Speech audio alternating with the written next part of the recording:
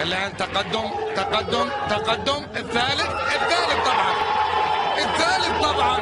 هذه المرة من محسن ياجور يعيش فترة في هذه الآونة من التسجيل لهدفه الخامس في دوري نجوم قطر.